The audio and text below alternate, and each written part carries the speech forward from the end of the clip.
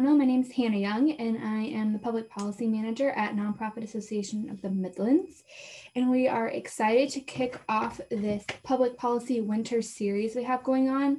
We have partners partnered with Coalition for Strong Nebraska this year to bring six really exciting trainings that will span from December to February. In the wrap up email, I will send those out individually if anyone is interested in, in signing up for any more. But we are going to include Advocacy 101, Advocacy 201. We're going to do one specifically on public loan student forgiveness, one on the 2020 census now that it's wrapped up what does that mean? And then also in that will be redistricting and gerrymandering. We're kind of partnering those together.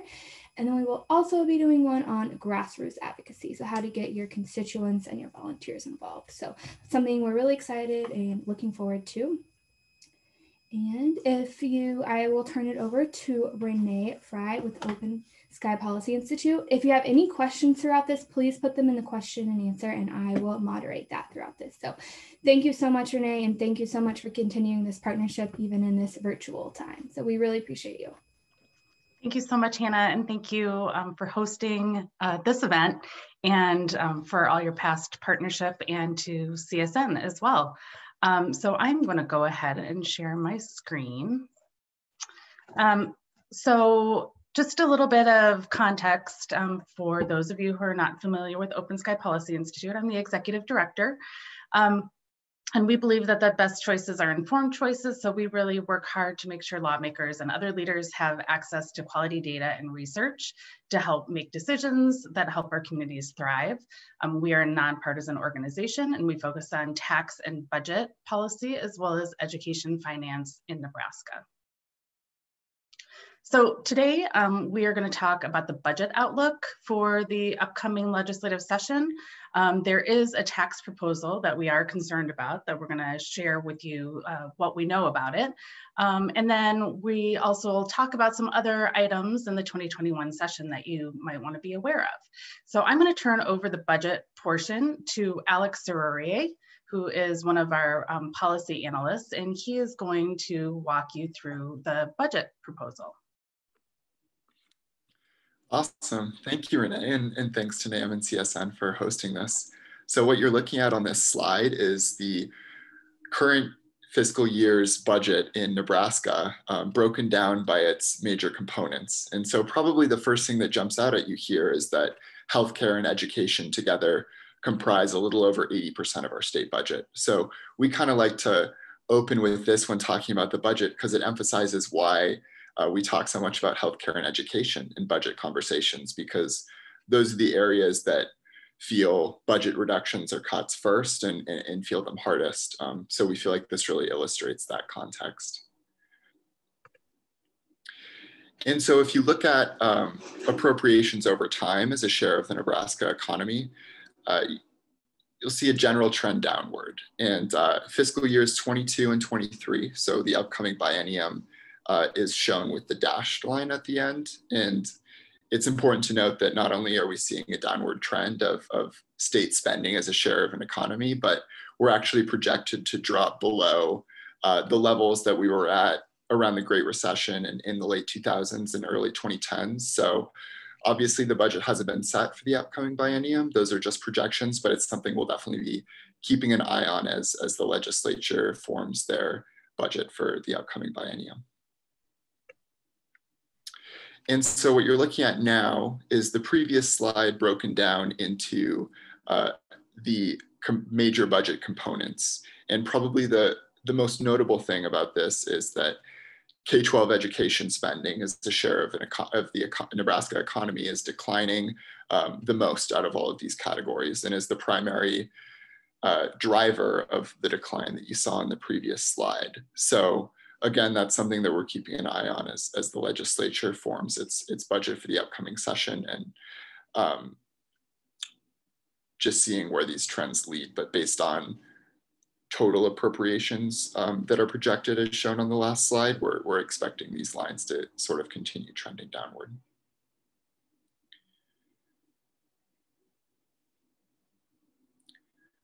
If you could go to the next slide, please.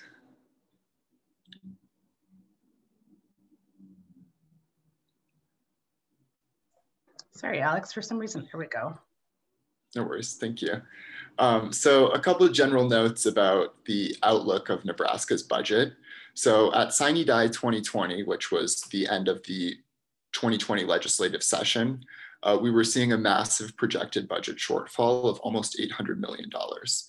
Uh, however, revenue in the first four months of fiscal year 21 has come in above what um, people were expecting.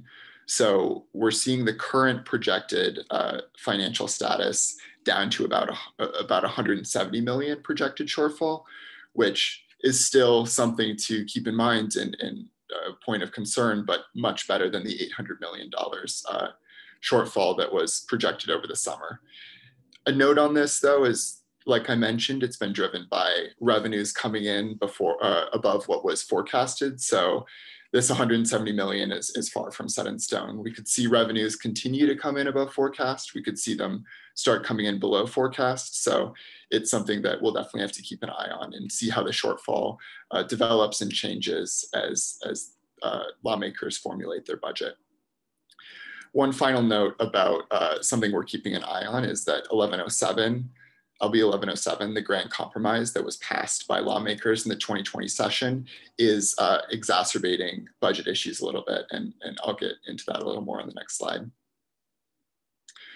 So what 1107 did, among other things, was introduce a new business incentive program in the form of the Imagine Nebraska Act, uh, a economic development initiative for the University Medical Center. Um, but the portion of 1107 that will have the most immediate impact on the budget is the Property Tax Incentive Act that uh, was passed in the form of a refundable income tax credit against school property taxes paid. And so this credit is going to cost the state at least $125 million in years one through four, which are fiscal year 21 through fiscal year 24. And that credit will grow to $375 million in fiscal year 25 and then increase by uh, the statewide growth and valuation for each year thereafter. And so the note about the $125 million um, in years one through four is that in years two through four, that's just a minimum. So the credit can grow based on um, Nebraska's year over year revenue growth.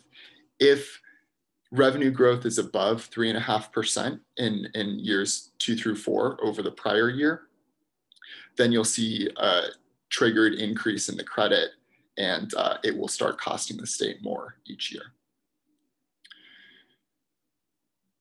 And so how is this trigger playing out so far? Well, it's already getting kind of complicated.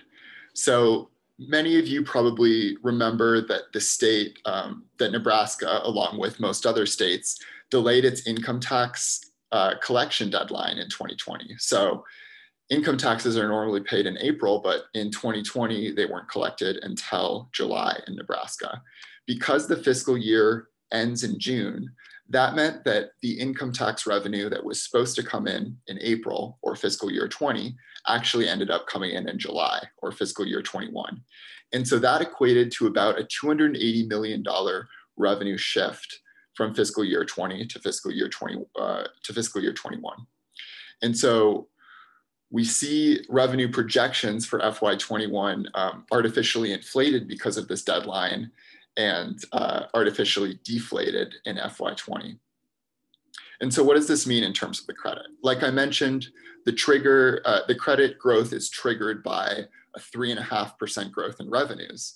So because this shift meant that FY21 revenues are going to be so much higher than FY20 revenues, uh, we are currently projected to see the credit increase to $212 million um, starting in fiscal year 22. Absent this change in the tax filing deadline and the, the shift in revenue between fiscal years, the credit would be remaining at $125 million. Another thing that we're thinking about in terms of LB 1107 is that it was, it's mostly unfunded. It was passed with very little uh, to pay for it. And the fiscal note has pegged the 11 year cost um, of the bill at $4.6 billion. So it's something we're thinking about when, when that's projected to be the cost over the next decade or so. And uh, as of now, we don't have many new revenue streams to be able to fund that. Um, it's also worth noting that the projected shortfall that I mentioned earlier of 170, $170 million in the upcoming biennium would be a surplus without uh, 1107's passage. So the credit currently is projected to jump uh, to $212 million in FY22 and FY23, and then to increase to $394 million in FY24 under current revenue projections. Hey, Alex, there's a quick question. Totally. Um, I, you touched on this a little bit, but I just wanted to make sure it was fully answered. Any sense of why revenues are coming in above projections in early FY 2021? Yeah, uh, that's a really good question, and, and there's no hard answer, but really across the board, um, projections were pretty dire at the beginning of the COVID 19 recession. Um, and most states, in particular Nebraska, haven't been hit as hard um, as economists initially projected they would be. Um, there's a lot of theories about this. Online sales tax has been a, a, a, huge boon as people shop more online instead of shopping in person. Um, and just replacing day-to-day spending of going out to restaurants or eating out with um, spending in other places. So it, it, does seem like people are still spending and still um, bolstering the economy just in different places than they were before the COVID-19 pandemic. But it's a really good question and one that I think people will continue to try and answer as we go forward through the pandemic. Alex, if I could just interject for, for a second, I think another um, theory is that a lot of folks didn't travel this summer and so they weren't they're still spending that money as you said and we've seen the sales tax receipts have been well above projections so instead of spending money to travel people are spending more money at home um, is sort of what we're seeing. That's another really good point. Um, so if we another thing that lb 1107 did was set a floor on the existing property tax credit program that's been in place for a few years so now that we know that there's a floor of $275 million on that program, um, if we start adding that to the projections um, of future refundable tax credits from LB 1107, we start seeing that uh, property tax relief is going to be a huge portion of state spending in coming years. Um, as this slide notes, it's projected to be almost 13% of total general fund appropriations by FY24. Um, so that's another thing to keep in mind about how that's growing in, in the total state spending and state budget. So a, a, few more notes on the budget that lawmakers will need to pass in the upcoming session. Um, right now, spending growth in upcoming biennium is projected to be 2.4%. And in the following biennium, which is fiscal years 24 and 25, we are seeing a projected surplus um, for the budget for that biennium. However, this surplus is based on revenue projections um, that have revenue growth for those years averaging almost 7%. And so why this is the case is that when projecting revenues that far out, the fiscal office will use whatever percentage revenue growth brings a five-year average to four and a half percent, which is what about what we've seen historically.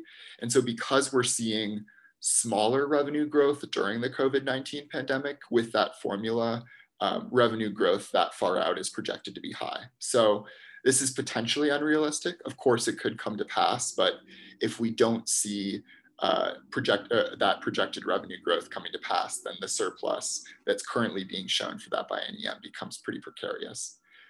Additionally, we are supposed to get a cash reserve fund deposit this year. Um, at the end of this year, but it will still have us below where we want to be um, in terms of our cash reserve fund balance. So the Legislative Fiscal Office recommends that Nebraska's cash reserve fund should be about 16% of its revenues. And while with the upcoming projected deposit, we're getting closer to that. Um, we're still not up to that ideal benchmark.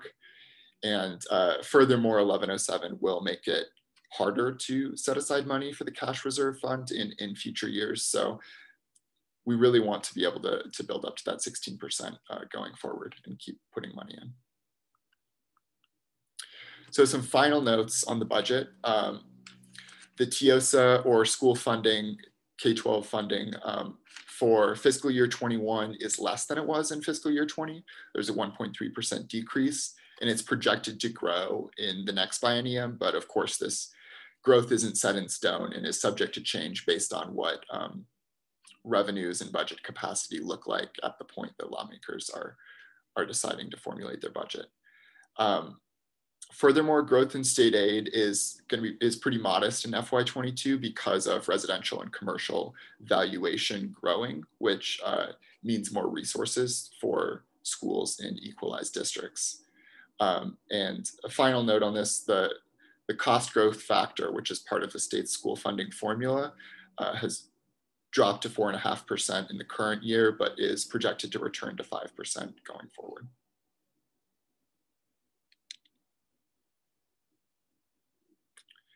And I'll turn it back over to Renee to talk about the upcoming tax threat. Great, thank you. That was great, Alex. Thanks so much. Um, yeah. Okay. Um, I don't know if they're for Alex or you, whoever wants to answer them. Um, do you have any idea if farmland values are projected to increase, decrease, or stay the same for the next year? They are projecting to be to decrease slightly. Um, why is Nebraska tag, tagged as a high tax state by legislative leaders? What is the source of the characterization and is the source credible? What is Open Sky's views of Nebraska as a high tax state? I know this is one of favorite questions. Alex, you want to take it? Sure. Um, I think a lot of the impression of Nebraska being a high tax state comes from our property taxes. Um, I'm sure you've all heard a lot about Nebraska's property taxes and are experiencing them, but we are, um, we usually hover around a top 10 state for property taxes paid as a share of our economy. And so I think a lot of frustration over property taxes and being a high property tax state drives that narrative. But really, if you drill down into how much um, sales and income tax Nebraskans are paying as a share of the Nebraska economy to be able to put it in comparison with other states, we're a relatively low sales tax state and a middle to low income tax state. So I do think that narrative's driven a lot by the high property taxes, but if you look at different tax revenue streams, it doesn't necessarily hold water across the board. And Alex, on property taxes, we rank what usually 10 to 12th, somewhere in yep. there. Yep. Okay, thank you. One more. Um, what will the school tax prop what will the school property tax credit mean to Lincoln homeowners, if you guys know that much? Do you remember that, Alex, off the top of your head? I can't remember off the top of my head, but we did um, look into that. Do you, if you wouldn't mind, could you see if you could find that number? Well, and yeah. we can come back to that at the when I'm done. Absolutely. All right. And that is all the questions for now. Thank you. Okay, great. Thank you, Alex. Thanks, Hannah. All right, so I'm going to talk about um, this tax threat that we're expecting in the 21 session um, using some visuals. I thought that this was um, a pretty good way to, to kind of look at the issue. Um, we are hearing, and I'm going to go into some more detail about a pretty big um, tax threat or a tax shift proposal um, that would end up being a, a tax cut for pretty high income earners. Um, and to the extent it's not fully paid for, could then again result in budget cuts. Um, again, um, you know, I just think the moment that we're in um, with this pandemic, uh, and I thought particularly since we're talking primarily to um, folks that work in the nonprofit um, industry, I wanted to lift up for you, you know, the pandemic has been hard on families. And I think, you know, Nebraska's revenue, as we talked about, hasn't been as dire as a lot of other states or as was projected. Um, but that doesn't mean families aren't struggling. And so um, I found this comparison that really struck me. So you had Bloomberg with almost 30 million um, families in the US didn't have enough to eat. Um, while billionaires in America um, have made an average of 42 billion a week throughout the pandemic. Um, and all of this is um, really exacerbated by our tax policy um, in the United States and our tax policy at home. Um, likewise, income inequality is at the highest level in 50 years. Um, again, um, this just reinforces what we saw in the prior slide. Those at the top are making more and more money and families are struggling to put food on the table. Um, so this is a real problem, again, um, that is really exacerbated by our state and um, federal tax policies. Oops. So um, as Alex said, um, Last session, LB 1107 um, passed, which is expected to pay cost um, 4.6 billion over the next 11 years, which is a real, really a huge, huge number. And so for, again, those of you who work in nonprofit and maybe um, advocating, I know um, Hannah mentioned that there are some, going to be some upcoming sessions on advocacy. Um, I just contrast that 4.6 billion with other things that I know a lot of you are advocating for, different policies um, that would help um, folks that um, you serve. And so, you know, there are some opportunity costs um, certainly, as Alex said, we, we rank 10 to 12% on property taxes, and that is an issue um, that people in Nebraska feel very passionately about um, trying to get those numbers down. Um, but that there is a trade-off there, right? So there's less funding for things like um, quality pre-K or EITC paid leave, all these things that um, you all care about to help the families that you support. So the tax threat in 2021 that we're expecting, um, Blueprint Nebraska commissioned a report from the Tax Foundation. Um, the Tax Foundation has done reports for Nebraska in the past, um, and their recommendations were very similar. There was a Platte Institute webinar a couple of months ago that highlighted the Tax Foundation's recommendations. And so that's sort of what we're expecting. Um, details are supposed to be out sometime in December, um, but at least looking at the recommendations um, of from the Tax Foundation, we can, we know a few things. So um, it appears that, again, these are the recommendations made by the Tax Foundation that they're proposing we cut the personal income tax rate, um, we cut or eliminate the corporate income tax, um, we stop state taxation of international income, broaden the sales tax base. Um, there was mention that it sounds it's likely that they would propose um, taxing groceries. Um, and then they talked about reducing the property tax burden um, and um, at least in the webinar, there was discussion about reducing the property tax burden by capping local spending growth. So this would really limit the ability for education and other local services. Um, they would be capped, have additional spending caps, um, and so would limit their spending um, which is particularly the timing of that in the middle of a pandemic, um, especially when you think about um, like community health care um, and education and the challenges that they're facing right now. Um, but we would expect to see um, this proposal include some sort of additional caps for um, local governments. So in terms of this tax threat, the personal income tax, as I said, they're um, they propose or recommend cutting the top personal income tax rate. Um, the personal income tax is the most progressive source of state revenue, so wealthy Nebraskans pay the most. They pay a higher percent of their income in income taxes than low and middle income families do. So it would cut, it would reduce um, how much they pay in taxes. Um, but the sales tax is the most regressive.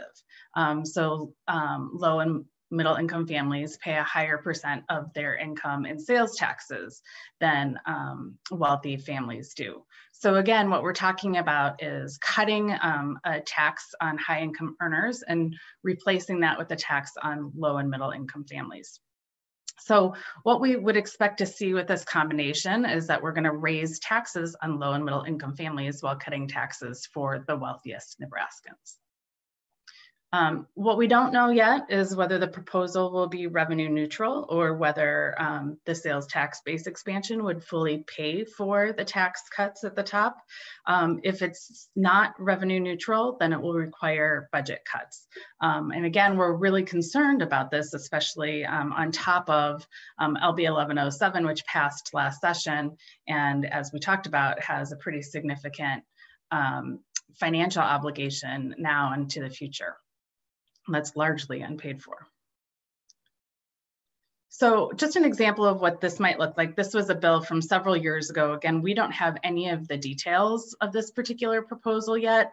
Um, so these are just based on the broad strokes um, of cutting um, the top income tax rate and broadening the sales tax base. It could look something, the trend will look something like this, um, where you see uh, tax increases for the 80% of Nebraskans and the wealthiest 20% see a pretty significant tax increase. Again, um, it's not going to look just like this. Um, it'll be some variation of this chart depending on um, the final details of the proposal. I had one question, Renee. Sure. What organizations were behind your last slide, or is there a particular senator? Um, I don't know. So, um, so Blueprint Nebraska um, was who was the organization that requested the recommendation from the Tax Foundation. Um, if you remember, former Senator Jim Smith is the executive director for um, Blueprint. Um, I know Senator Linehan was part of that um, webinar, and she, I think, at least seemed supportive of the proposal, but I'm not sure and haven't heard who might introduce it and who all will support it. Um, at this point. So those details are still sort of unknown. Great. Thank you.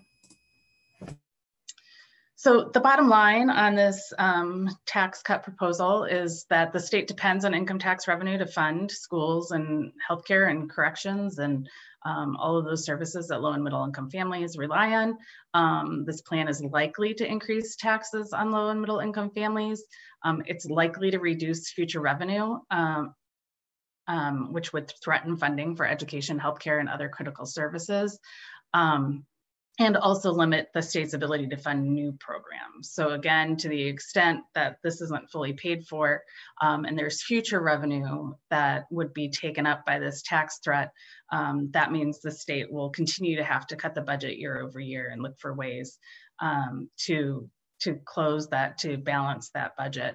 Um, Again, we think it's likely to include spending restrictions for schools, um, local healthcare, and other services that low and middle income families rely on. Um, we also know that BIPOC communities are likely to be hit hardest, just as they were in this pandemic when we look at the breakdown um, of income among, by, uh, among um, BIPOC communities. We would see that they tend to um, tend to be low to middle income um, and wouldn't benefit from the tax cuts to the same to the extent that white families would. So we need your help. Um, we're really hoping that those of you who um, are concerned about um, about having services for your families um, that you serve, um, we would encourage you to engage the legislature on this proposal and raise concerns um, you know, raise your concerns. So how can you help? You can testify, you can write letters, um, you can contact your senators, you and your board of directors, calls to action, you can share social media posts. Again, once we have more details about the proposal, we'll be putting out a lot of data, um, public pulse letters, um, and collect and share stories, which is really helpful about what the impact is to the families that you serve. Um, so one thing that I would say is you don't need to be an expert in tax policy to engage on tax policy issues, right? Um, and we aren't, you know, we don't interact with, um, we're not a direct service provider, so we don't have access to a lot of those stories. We can just see what those numbers are and in broad strokes talk about how impact state services or particular families, but um, we really need others, we need um, you folks, if you're concerned about it, to share stories and, and connect the dots with why this change in tax policy would concern you and your organization and the people you serve. So I hope that you'll take this seriously along with us, um, and we'll certainly be putting out more information as, a, as it's available. Um, but don't be intimidated just because it's a tax issue. I would say that's, um, you don't need to be a tax policy expert. Um, you just need to be able to connect the dots for senators about um, why this would hurt families that you serve. So I just want to touch on um, a couple of other items for the 2021 session. Um, so it's uh, it is the first year of a biennium, so we will have um, legislative leadership elections in and that should say, um, yeah, in 2021, um, in January. So um, right off the bat, and um, we will have those legislative um, leadership elections. Those will really set the stage, I think, for the tenor of um, the session. in 2017, there was a, a, lot of folks, there were um, lost their leadership positions and there was a, a, rules fight that lasted 30 days and it was a pretty contentious session. Um, so I think once we see what happens with those elections and then whether there's a rules fight or not, um, there are um, this this um, upcoming um, legislature will have 17 um, Democrats, which is how many it takes to stop a filibuster. And we have, uh, or yeah, to stop a bill, excuse me, to filibuster a bill. And we have, it's a redistricting year, as Hannah mentioned that earlier as well. And so um, there may be an effort to change um, the filibuster number or change, we've heard some discussion that maybe not changing the number, but, in, but now it's incumbent upon 33 senators to make sure that there are 33 no votes. We've heard that it's possible that that would change, um, that those 17 um, would all have to be present um, to be no. Um, so putting the onus on the 17 rather than on the 33 um, is something that's being talked about as a possible rules change.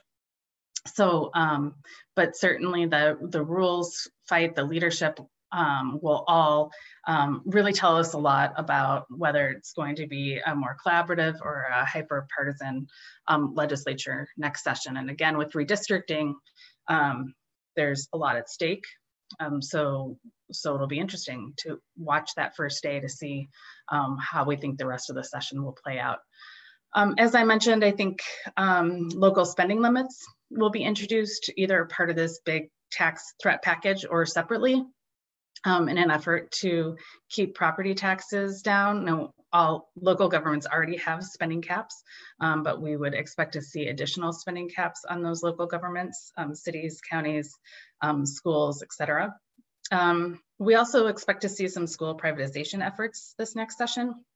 Um, the, um, there were a number, or there was a lot of money um, coming from out of state um, school privatization organizations um, into elections in Nebraska this year, much more than uh, in prior years. So we think that that could signal um, more of an effort to focus on Nebraska for school privatization.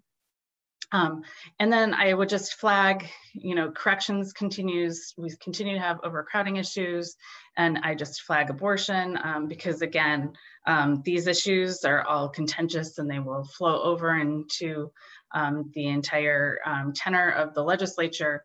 And so even though you may not work on these issues, they will affect, um, I think, just the tone of the body. So that is our presentation. And um, so Hannah, I saw that there were some other um, yeah. questions popping up. Yep, we have quite a few questions. I went ahead and just kept the rest to the end um, since we had quite a few coming in. Um, people really loved your graphics first. Um, um, many legislatures want Nebraska to have a state policy, state tax policy more like Texas. Do you know what the mix of taxes in Texas are? Um, Texas doesn't have an income tax. Um, so that's a big one. Um, so they rely really heavily on sales tax and property tax. So um, again, what you would see then is a much more regressive tax system in, in Texas than we have in Nebraska um, because our our income tax in Nebraska is pretty progressive. Um, so our tax code in Nebraska is still regressive overall. So it still does, you know, low and middle income families do pay a higher percent of their income in total taxes in Nebraska. Um, but if you take income taxes out of the picture then, um, and you rely on sales taxes, which are fall very heavily on low and middle income families, and then property taxes tend to be sort of regressive on the ends and proportional in the middle are creating a much more regressive system. So in, in Texas, low and middle income families um, pay a much higher share of their income in taxes than we do in Nebraska. Alex, would you, do you have anything to add? No, that's right on. I mean, the no income tax state is is a big one. Like that's a huge revenue stream for most states, and so they have to compensate for that with with other forms of taxation. Okay, thank you. Um, where can someone find templates to help? I think when you suggested all of those actions, is there any place you can find templates to help? Yeah, absolutely. So um, I think um, we will be putting out a lot of information that organizations can use. Um, I'm not sure if Lori and Joe, um, I think they will be doing some communicating through um, CSN, but um, once we have more detail, we'll be able to share some information through um, CSN um, to get to folks that they can they can utilize utilize to engage in these issues. With the projected budget shortfalls, do you know if there's any appetite for and discussion around new revenue sources such as increasing alcohol and or tobacco taxes? So, um, you know, there have been several bills in the past um, that would have raised um, tobacco taxes. Um, I don't know if anyone's going to be bringing one this next legislative session. It seems like if there was um, if there was any sort of tax that lawmakers would be willing to increase, that would be tobacco taxes. We rank very low. Um, I think the governor will oppose any effort to raise any kind of tax. Certainly, there was an increase in the alcohol tax um, as part of some as part of a bill a couple of years ago, and the the governor beat up on that pretty hard and worked with the local breweries to um, really push back hard on that. Um, so I, I don't know that there's a lot of appetite. Uh, it sort of remains to be seen how whether projections come in where they're expected to be now. 170 million again is much better. We were looking at almost 800 million dollar shortfall um, prior to the last forecast. So 170 million um, is a little bit more manageable. It just keeps it just keeps that growth really really low year over year um, and starts to fall behind you know needs. Um, so I'm not sure that the legislature will have much of an appetite, um, but okay, we'll see. Do you think a racial impact assessment on bills is likely to pass the Rules Committee? Mm. Good question. Um, actually, I'm going to see if Joe or Lori um, have any information about an update on that. Uh, there was a bill last session, and there have been conversations. Um, look, Joe? Yes. Um, Senator Tony Vargas is working on introducing that again for the 2021 legislative session. Um, so every year we're hopeful that we can get something passed. Um, his effort is narrow around anything related to criminal justice or juvenile justice issues. So it wouldn't be broad enough for someone on education to look at racial impact. So it's it's more tailored to the criminal justice system. But we're hopeful that it could pass this session. And Joe, is he he's still planning on bringing that as a bill, or is he going to try to make a rules change? You're muted. I think he's bringing it as a bill.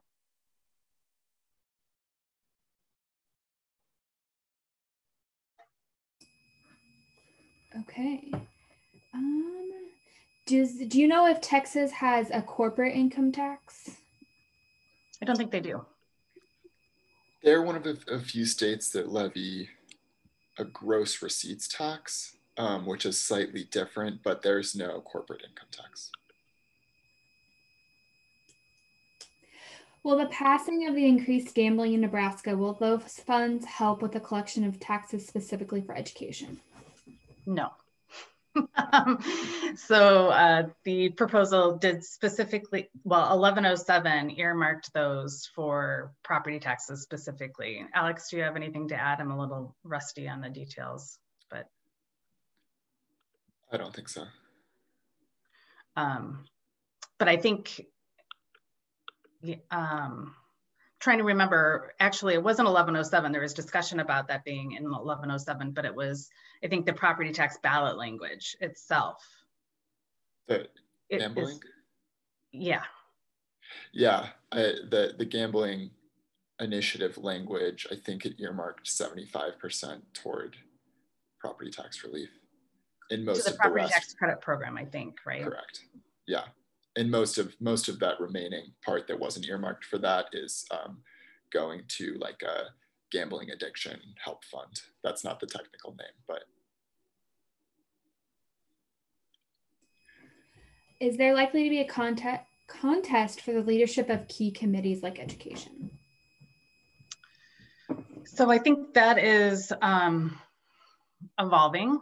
Um, the latest that we were hearing yesterday, um, Senator Walz has um, put her name to run against Senator Groene, but it sounds like um, it's possible that another candidate might emerge um, to run for education. Um, so I think that that it's still very much sort of a moving target in terms of some of these leadership positions. But I do think the one that's most hotly contested at this point um, is probably um, is probably the education committee. Not hearing um, too many, too much conversation about anyone challenging Senator Hilgers for speaker or Senator Hughes for exec board. Um, so I, I do think education is going to be the one to watch for. Nebraska has steadily reduced per capita general fund expenditures for the past 20 years, and your presentation seems to conclude that Nebraska will continue to reserve reduce per capita general fund expenditures for the next 11 years. Is that true? Yeah, I think as a share of the economy, what we're going to see um, is that our spending um, continues to decline. Alex, do you have anything to add? Yeah, just to clarify that uh, declining appropriations was as a share of personal income in Nebraska. So it was a more a share of, of the measure of the economy rather than the amount of people in Nebraska, which would be a per capita measurement. Um, but I'd assumed that a per capita analysis would show something similar. Okay, and then the last question, um, can or will you share the third name interested in running for education chair committee? Um, I would. I'm not sure if I can. Okay, that's fun. TBD on that one. Yes. Um, and and I, yeah, and I'm not sure how much of it is rumor versus, um, yeah, but totally fair. Um, how does Wyoming fund state spending? It appears they have income tax and low sales and property tax rates. Um, natural resources. I, I, mean, I think severance taxes make up. It's been a while since I've looked at it, Alex. I don't know if you've looked at it recently. I think over 50% of their general fund budget. I think it's a significant number, significant reliance on severance taxes and we just don't have and that's you know when we talk about whether we're a high tax state or a low tax state I mean, we don't have a lot of those natural resources that other states have that they're able to to tax so one other thing that's interesting to look at is when you look at um, spending or spending compared to other states we're actually a low spending state. Um, we don't get as much in federal funding. We don't have severance taxes. So um, again, when you compare Nebraska to other states on property, we're at that 10 to 12, um, much lower in sales um, and income. But then again, our spending is actually, we rank pretty low because we just don't have, um, we've chosen, I think, um, made policy decisions where we don't receive as much federal funding. Um, and then we just don't have the the natural resources that some other states have, like Texas. I mean, that's also, you know, we could love to be like Texas, but we don't have oil, right? Um, not nearly to the extent that they do. Um, and so that is a big way that they fund their government in Texas. And we also don't have, you know, we don't, it's you know how it's actually really nice here today right? It's going to be like 60 but um, we don't have the weather that texas has either. Someone mentioned that uh, wyoming also has oil so that would be a natural right. yeah. Hannah could i jump in real quickly just to address the question that came up earlier about uh, lincoln homeowner with 1107 mm-hmm. so we did run the numbers on that not specifically for lincoln but the average school levy in nebraska is 84 cents and the median home value is $148,000. So if you base an 125 million credit off of those two numbers, if you have a levy of 84 cents and a home value of a little less than $150,000, you'll receive $66 as a credit. Um, I know the, the uh, levy in Lincoln is higher than that. I, I think it's around 1.2 if I'm remembering correctly. But even with a levy of 1.2, at that median home value, you won't be receiving $100. It will be less than 100. Um, and I think something that I may have forgotten to note earlier is that this is actually in the form of an income tax credit. So you see that $66 as an income tax reduction, whereas your property taxes themselves will stay the same.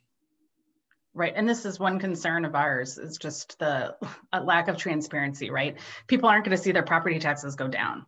Our ranking on property taxes isn't going to go down. It's the same, even though we're making this huge commitment um, to fund property taxes, 12.8% of our general fund appropriations. And that's, um, you know, again, people are going to see, as Alex said, they're going to they may or may not notice that $66 reduction in their income taxes, right? They probably won't um, and their property taxes aren't going to aren't going to change. Um, they'll probably, you know, continue to go up um, slightly. Well, they'll go up in residential and commercial, or could go up um, in residential commercial areas if your valuation is going up. Um, and uh, so there's going to be a disconnect for folks um, around the lack of transparency on 1107, and that will be something I think at some point legislators will have to grapple with. Okay, we have one final question. Um, are they likely to immediately go into recess because of COVID?